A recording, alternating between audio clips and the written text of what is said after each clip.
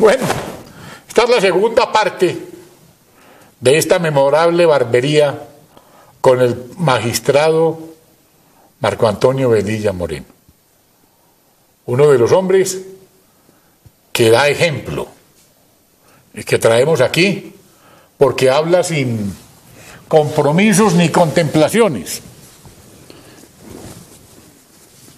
porque no tiene que pedirle permiso a nadie ni pagar peaje para hablar. Es un hombre serio, estructurado y preparado para el oficio. Lo dice su hoja de vida. Le tocó, le, tocó formarse en París, al lado, estuvo al lado de, de un hombre tan importante en su momento como el expresidente Betancourt, y ha estado, acompañada, ha estado acompañando a una serie de importantes juristas a nivel mundial. ¿Cómo fue su paso por Francia? Porque con usted sí se puede hablar de eso. Los otros, uno les pregunta, entonces a uno le hablarán de que estaban por allá en el, en, el, eh, en, el, en, el, en, algún sitio y se los trajeron con un espejito para acá. Usted sí no, usted, con usted sí la cosa es muy seria. No, Francia, Francia es, digamos, la segunda patria porque no solamente me permitió, yo fui consejero presidencial muy joven y a partir de allí eh, quise siempre, digamos, hacer esa segunda etapa de estudios superiores en Francia, donde cursé las maestrías en Derecho Privado y en Derecho Económico y con posterioridad a eso vine a crear el Departamento de Derecho Económico del Externado y las primeras especializaciones interdisciplinarias en Derecho Económico y Derecho de los Negocios.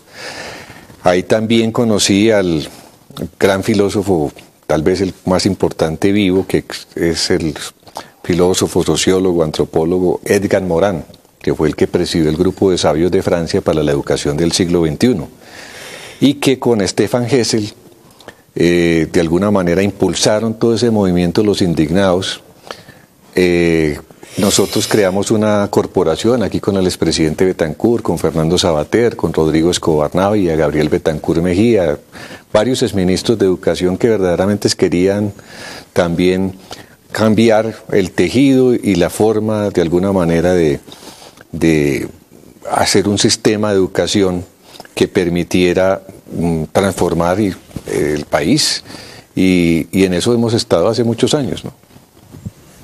Con el solo hecho de uno escucharlo, con su manera de llevar las cosas, por el respeto que inspira. Además, con solo mirarlo, usted tiene la obligación moral de ser honorable. Usted es un hombre transparente, un hombre rígido, vertical. Y de eso ya como que ya no se usa en Colombia. Eso sí, pues, como decían una vez en la costa, eh, eh, hablando de la ley 80 para la contratación, eso aquí no se usa. ¿Cuántas cosas no se usan en Colombia en materia, en materia, de, en materia legal, doctor? No, yo creo que hay una serie, digamos, de, de magistrados que uno admira, que uno ha respetado y que por supuesto pues han hecho, digamos, pues, lo mejor de sí, han dado lo mejor de sí eh, en varias, digamos, providencias que son muy rescatables. Nosotros todavía tenemos una justicia, no sé hasta cuándo, donde hay, existe una independencia de la rama judicial del Ejecutivo. Si uno observa y cuando sale a los congresos latinoamericanos, mirar el, digamos, lo que son los jueces venezolanos, lo que son los jueces ecuatorianos, verdaderamente hay una dependencia completamente directa con el presidente y por lo tanto si ellos no acceden eh, o no van en el mismo sentido de los deseos del presidente, estas personas realmente tienen muchas dificultades y pueden perder sus posiciones. Entonces, para mí el tema de Colombia y de este, esta reforma del equilibrio de poderes es una gran preocupación porque creo que estamos dando unos pasos verdaderamente, mejor dicho, estábamos a un paso del abismo y parece que estamos dando un paso adelante. ¿Qué cómo es posible que uno ve a los magistrados, presidente de la Corte, presidente del Consejo Superior de la Jubilatura, eh, presidente del Consejo de Estado, si no estoy mal, eh, me parece que también el presidente de la Corte, de la Corte Constitucional, eh, abrogándose el poder de todos ustedes y entonces convocando una constituyente. Eso, eso, eso no tiene sentido o sí tiene sentido. ¿O es una orden de Cuba? No, lo, lo, fundamental es que los presidentes han sido de alguna manera designados democráticamente al interior de cada corporación. Entonces, por ejemplo, en el Consejo de Estado, nosotros nos sentimos representados por el presidente del Consejo de Estado y, por supuesto, eh, tenemos conocimiento y somos conscientes de que es imposible que ellos consulten todas las decisiones con, en el caso de nosotros somos 31, en el caso de la Corte Suprema son 23 y en el caso de la Corte Constitucional, que generalmente se margina de estas decisiones porque le toca hacer el estudio constitucional, eh, son 9. Entonces, por supuesto, hay que tener cierta comprensión. Del tema de la constituyente, a mí me parece que es un tema que, por supuesto, inclusive algunos partidos ya lo habían propuesto, pero que también es inoportuno en la medida que estamos en ese proceso con La Habana. Entonces, ¿qué tal que hubiese una constituyente y esa constituyente posteriormente haya necesidad de hacer otra si es que se dan los presupuestos tan felices que se vienen de alguna manera presentando frente a la suscripción de un, un proceso de paz y por lo tanto una firma a ese respecto. Entonces, en realidad, una constituyente sería con posterioridad a una suscripción de acuerdos, etcétera, donde precisamente eh, se consolide lo que va a ser la institucionalidad del Estado. La constituyente en este momento, como lo es esta reforma al equilibrio de poderes, como lo es, eh, digamos, lo que se avecina, que para mí es verdaderamente preocupante, no es el momento oportuno. Estamos asistiendo a una institucionalidad completamente encontrada, fragilizada.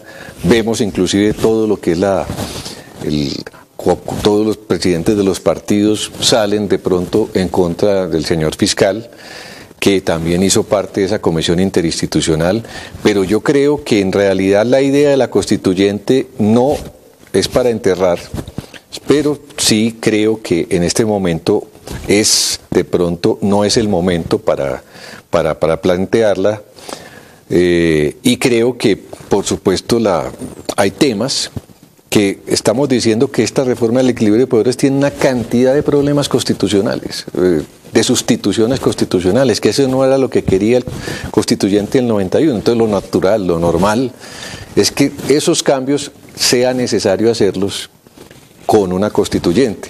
Pero citar a una constituyente no es tan fácil como la gente se imagina. Primero, se necesita la tercera parte del censo electoral.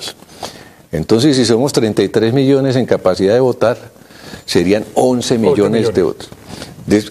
adicionalmente, esos 11 millones de votos, después viene lo que es la elección de los constituyentes para el tema de la justicia.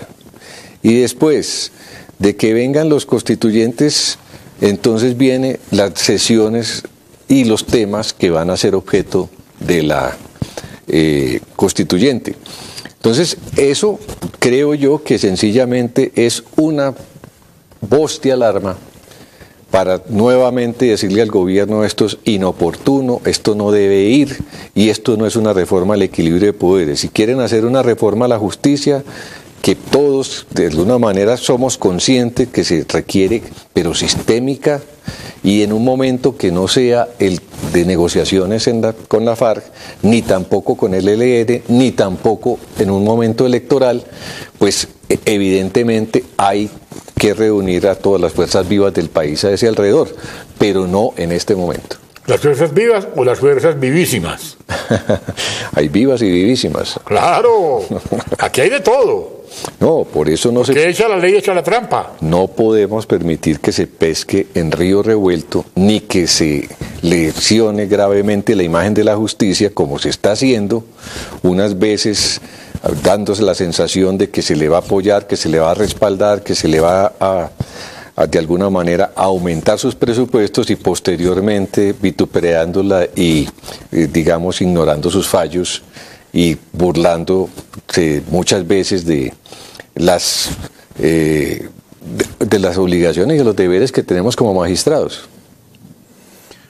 El, ustedes con su toga, eh, obviamente, pues le dan cierta excelencia a lo que a lo que representan.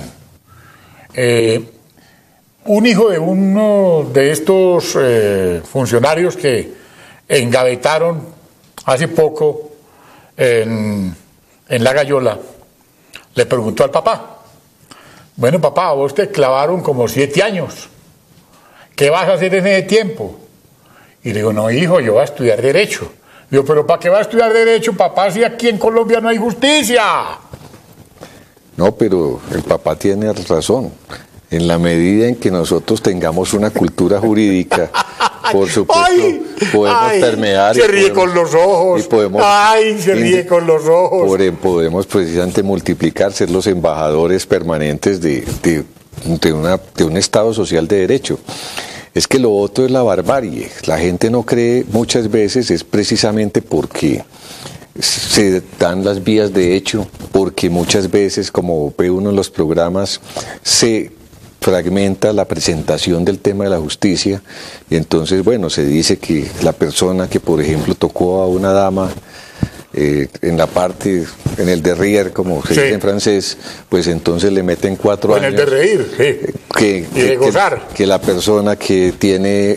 Pero entonces habría que hacer una reforma verdaderamente sistémica, porque el juez no se puede inventar las penas, las penas están allí.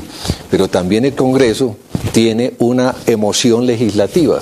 Entonces cada que se presenta un caso de esos pretende que se haga, que, inclusive que se les coloque cadena perpetua.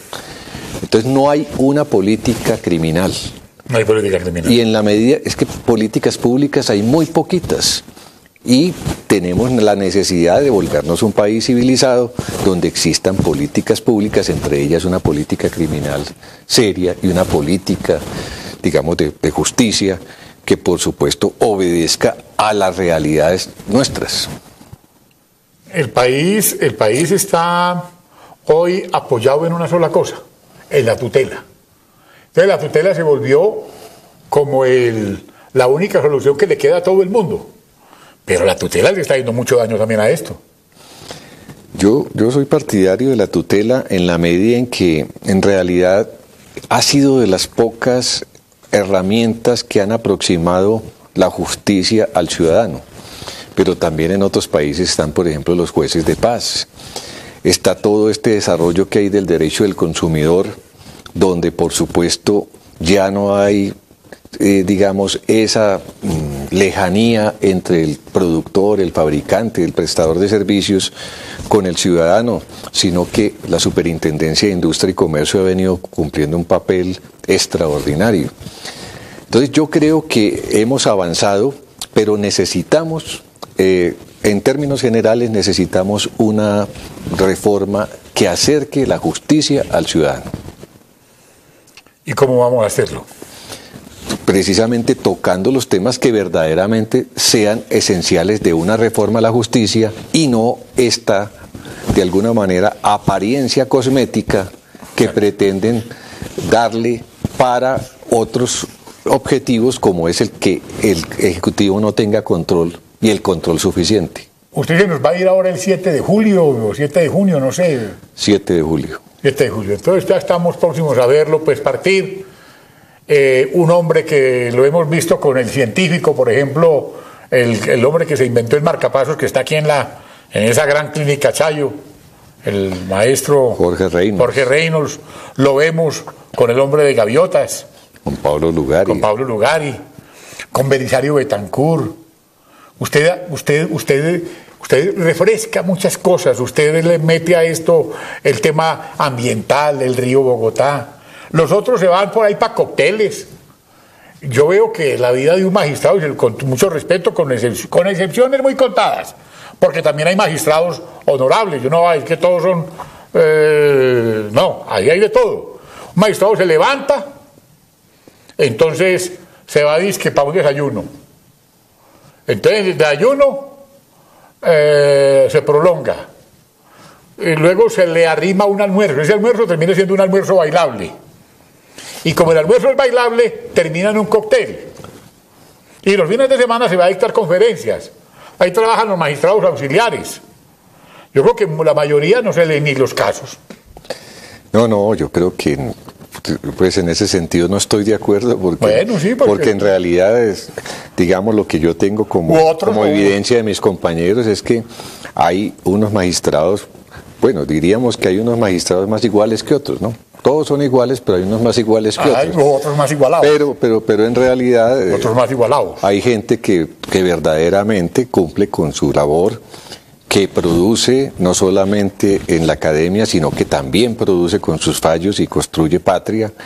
Y creo que en términos generales, por ejemplo, el Consejo de Estado es un colectivo eh, muy, muy sobresaliente, donde ha tomado determinaciones, diría uno, digamos, muy trascendentes para el país. Por eso es que no se puede debilitar al Consejo de Estado con esta reforma al equilibrio de poderes lo está debilitando el señor Juanpa. Así le gusta que le digan a él, porque él quiere concentrarlo todo. Él no puede hacerlo solo. De, pronto el Congreso tiene que tomar conciencia que esto va muy mal y que por supuesto el concentrar en el, en el, presidente de la República, aunque no sea el actual presidente de la República, tantos poderes nos va a llevar a la situación que están viviendo los vecinos vecinos como Venezuela, como Cuba, como Nicaragua, como lo dije yo aquí hace mucho tiempo, como se lo dije al doctor, al, a, uno que ahora está barbadito, él, es que funge ahora como candidato a la alcaldía de Cali, que fue vicepresidente eh, de la República. Le dije, ustedes nos llevan para el santismo leninismo, y ahí estamos.